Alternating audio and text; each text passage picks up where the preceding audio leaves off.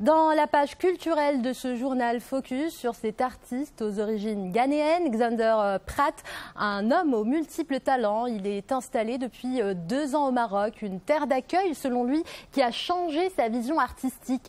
Une nouvelle vision que l'on retrouve dans son clip Casablanca à travers ses photographies mais également à travers les pièces de vêtements qu'il crée.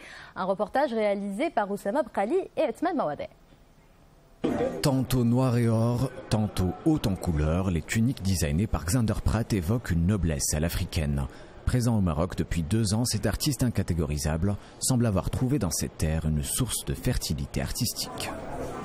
Ce qui m'inspire dans un royaume, c'est à quel point c'est chargé d'histoire. Je trouve qu'en Afrique, il nous arrive d'oublier certaines traditions, donc quand je me retrouve dans un royaume, je parviens à m'exprimer plus librement à travers mon art. Car en plus d'être designer, Xander Pratt s'exprime également par la photographie et le chant. Cette exposition fut également l'occasion de présenter son nouvel opus, Casablanca. Créateur de mode, directeur artistique, euh, photographe, euh, designer.